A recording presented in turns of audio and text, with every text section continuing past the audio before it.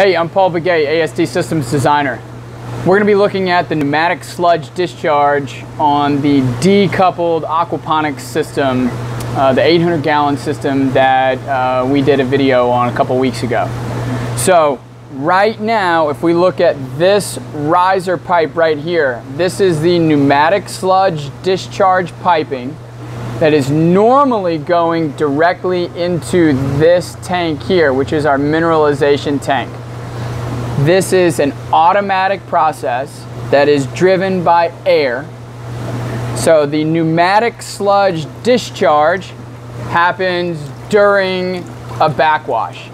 The solids that are captured and are being discharged right now were dislodged during the previous backwash, okay?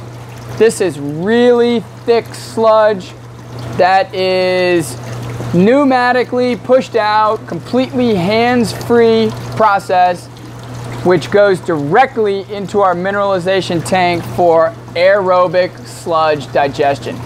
This is probably the coolest part about this filter and the way it operates. The air that's driving the backwash is also pushing the sludge out from the previous backwash. Then air is breaking down that sludge in this mineralization chamber, which is then feeding our plants.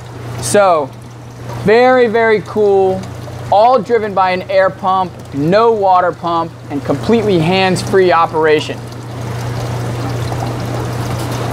A backwash just occurred, okay? That's why this water dropped back down.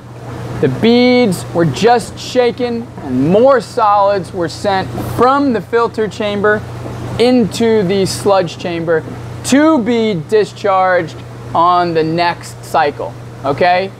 So uh, stay tuned for more videos on the decoupled aquaponics system uh, as it stands right now. Thanks so much.